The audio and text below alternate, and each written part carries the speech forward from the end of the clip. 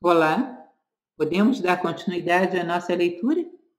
Hoje o capítulo tem o seguinte título: Nossos deveres revelam-se através de nossas relações interpessoais, ou seja, convivência, quais os deveres que nós, seres sociais, que necessitamos da convivência, adquirimos através dela. Você não é uma entidade isolada, mas uma parte única e insubstituível do cosmos uma célula do cosmos. Não se esqueça disso. Você é uma peça fundamental no quebra-cabeça da humanidade. Lembrem daquilo que dizia Marco Aurélio: a morte de um único ser humano me empobrece, porque é um universo ímpar e irrepetível com o qual deixei de travar contato. Uma peça insubstituível do quebra-cabeça. Cada um de nós é uma porção da vasta intrincada e perfeitamente ordenada comunidade humana. Porém, onde é que você se encaixa nesta teia da humanidade? A quem você está ligado? Cada um, cada uma dessas relações que você estabeleceu e através das quais você se prende à teia da humanidade é uma relação por onde você gera uma, um compromisso, uma responsabilidade que deve ser honrada para que você esteja corretamente inserido como célula nesse corpo. Cada célula cumpre certos requisitos para ser uma legítima e sadia célula de um corpo. Procure verificar quais são as pessoas a quem você está ligado e busque compreender as suas relações com elas. Não seja omisso nos compromissos que essas relações geram. Nós nos situamos de maneira correta dentro do esquema cósmico quando identificamos nossas relações naturais com os outros e, a partir daí, definimos nossos deveres. Esses deveres emergem naturalmente dessas relações fundamentais, como as familiares, as de vizinhança, as do local do trabalho e da cidade ou país em que vivemos.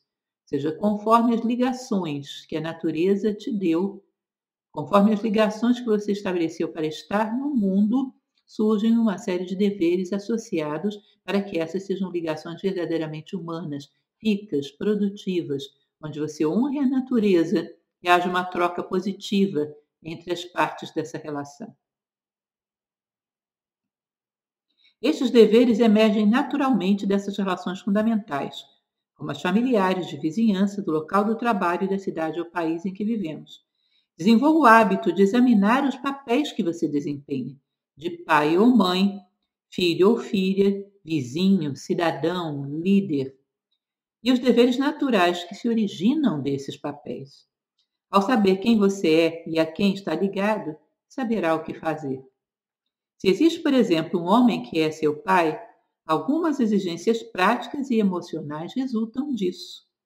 O fato dele ser seu pai implica uma ligação básica e duradoura entre os dois você é, naturalmente, obrigada a sentir afeto por ele, ouvir seus conselhos, escutar com paciência seus pontos de vista e respeitar a sua orientação. Ou seja, não necessariamente segui-la, mas levá-la em consideração, respeitá-la.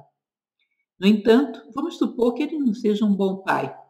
Talvez seja tolo e pretensioso, ignorante, grosseiro e tenha opiniões bem diferentes das suas. Será que a natureza dá a todo mundo um pai ideal ou dá simplesmente um pai?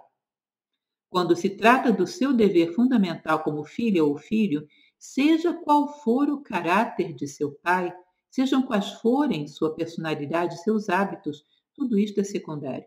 O comportamento dele é problema dele. Agora, o meu comportamento, ser um bom filho, é problema meu.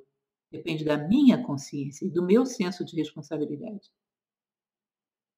A ordem divina não designa pessoas ou circunstâncias de acordo com o nosso gosto ou a nossa preferência. Quer você o considere agradável ou não, esse homem, afinal de contas, é seu pai e você deve seguir todas as suas obrigações filiais, ou seja, estar em paz com a sua consciência e com as obrigações que a natureza delegou a você. Seja um antigo romance, que talvez você já tenha ouvido falar, que é o Romanceiro do Cid. É uma história de um cavaleiro que servia, na época em que a Península Ibérica era invadida pelos mouros, ele, ele servia ao rei Alfonso VI, se chamava Rodrigo de Bivar, é o Cid.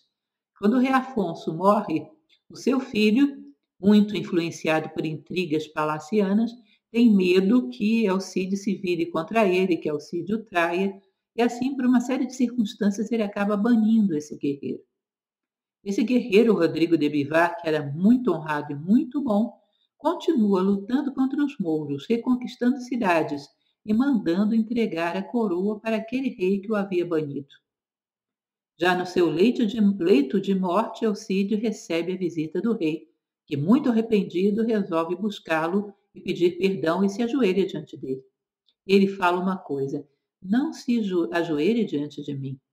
Meu rei não se ajoelha diante de ninguém. E o rei fala para ele: Mas eu não sou digno de ser teu rei. E Rodrigo responde: Mas eu sou digno de ter um rei. Não sei se vocês entendem o ensinamento dessa história tão antiga e tão bela.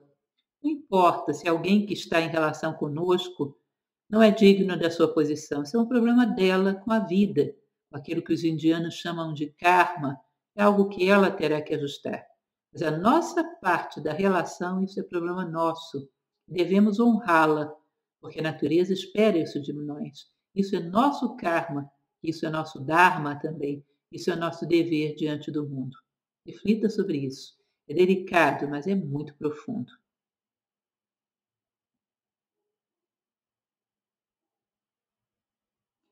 A ordem divina não designa pessoas ou circunstâncias de acordo com o nosso gosto ou a nossa preferência.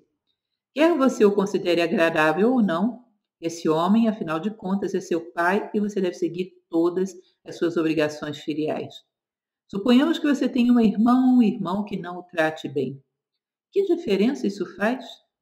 Permanece o imperativo moral de reconhecer e manter seu dever fraterno fundamental para com ela ou com ele sempre dentro daquilo que eu já falei várias vezes e considero uma máxima interessante. Se você quiser subir, conte comigo. Se quiser descer, desça sozinho.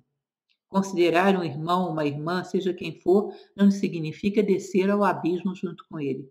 Assim você não ajuda em nada, mas coloca-se sempre à disposição para o momento em que ele queira subir.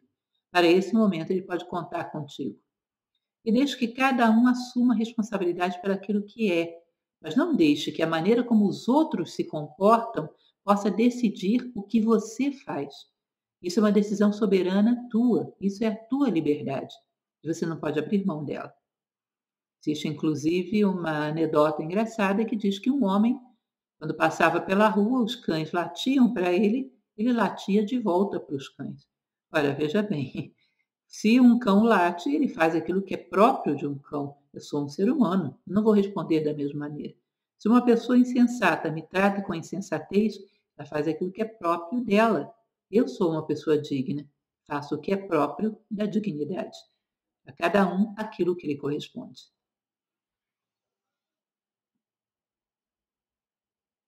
Concentre-se não no que o outro faz, mas em seguir seus princípios pessoais mais elevados. Sua meta pessoal deve ser a de buscar a harmonia com a própria natureza. Esse é o verdadeiro caminho para a liberdade, ou seja, ninguém pode te dominar nem determinar o que você será a partir daquilo que ele é. Ninguém pode decidir o que você será a partir do próprio comportamento. Isso é uma escolha tua e isso é liberdade. Esse é o verdadeiro caminho para a liberdade. Deixe que os outros se comportem como quiserem, pois, seja como for, isto não está sob seu controle e, portanto, não é da sua conta. Compreenda que a natureza como um todo está ordenada de acordo com a razão, mas que nem tudo na natureza é razoável. Entendam isso. Tudo está ordenado segundo a razão. Se eu pego um parafuso desassociado de qualquer engrenagem, ele sozinho, aquilo não me parece nada razoável. É uma coisa pontuda que pode me espetar, me arranhar. Jogado no chão pode chegar a machucar o pé de alguém. Se uma criança coloca na boca, pode provocar um grande prejuízo. Ou seja, que sentido tem isso? Não é razoável. Mas quando você coloca dentro da grande ordem do mundo, aí sim, ele tem uma razão de ser. Ele se encaixa, ele cumpre seu papel no todo. Às vezes, até aquelas pessoas mais frágeis moralmente se aproximam de nós graças à presença dela nas nossas vidas, nós nos sentimos incentivados a ter uma moral cada vez mais sólida, cada vez mais dignidade. Graças à presença dessa pessoa, despertamos para a necessidade de construir a nós mesmos e ensinar através do exemplo. Quando procuramos agir fielmente como pessoas sensatas e decentes, buscando conformar nossos atos e intenções à vontade divina, não nos sentimos vitimados pelas palavras ou atitudes dos outros. Na pior das hipóteses, essas pessoas ou atitudes nos parecem cômicas ou lamentáveis.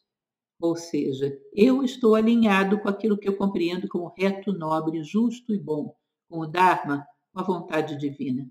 Os outros, bom, infelizmente eu não posso obrigá-los a fazer o mesmo, não tenho que respeitar o seu livre-arbítrio, dar o melhor exemplo possível, mas aceitar que cada um realize a sua trajetória segundo lhe parece o correto no seu momento de consciência atual.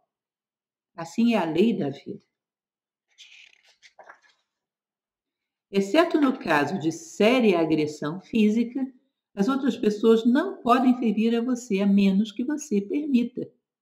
Isso se aplica até mesmo quando o agressor é seu pai ou mãe, irmão ou irmã, professor ou patrão. Não consinta em ser ferido e não o será. Essa é uma opção que está sob seu controle.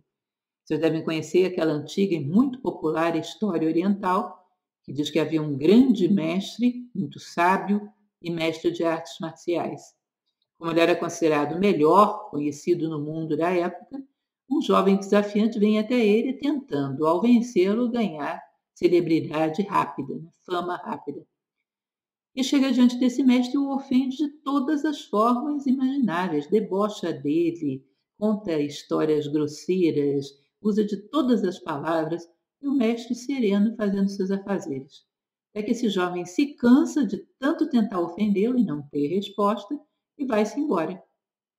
Os discípulos do mestre correm para ele e dizem: Mestre, por que o senhor aturou tudo isso desse jovem petulante? O senhor que é o melhor lutador do mundo, por que não acabou logo com isso?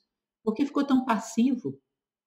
E o mestre respondeu: Olha, se alguém te entrega um presente e você não aceita, a quem pertence esse presente? A quem o deu. Portanto, esse jovem me deu muitos, entre aspas, presentes e eu não aceitei. Ele volta para casa com todos eles. Não há por que isso me afetar em nada. O problema é dele. Ele ofereceu. Eu não recebi. A partir do momento que você recebe, aí você se envolve karmicamente, como diz a Índia. Gera cólera, gera ódio, gera espírito de vingança e daqui a pouco você está amarrado a essa pessoa de alguma forma. Se você se respeita e se mantém fiel a si mesmo, esse é o problema da sua, dessa pessoa com o seu comportamento. Nada tem a ver comigo.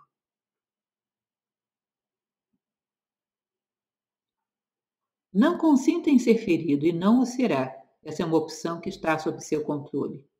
A maioria das pessoas costuma iludir-se, pensando que liberdade consiste em fazer o que é agradável ou o que proporciona conforto e felicidade. A verdade é que aqueles que subordinam a razão a seus sentimentos do momento são, na realidade, escravos de seus desejos e aversões. Seja liberdade é ir lá na cozinha e comer tudo que eu quero. Não, isso não é liberdade, isso é escravidão aos seus instintos, aos seus apetites descontrolados. Isso atenta contra o seu bom senso e contra a sua boa saúde. Isso não é um livre. Isso é um escravo dos seus apetites. Liberdade é poder se impor sobre todas essas condições instintivas do corpo para fazer aquilo que é nobre, justo e bom. Capaz de sobrepor a essa tirania dos instintos e fazer aquilo que você escolheu conscientemente como nobre, justo e bom.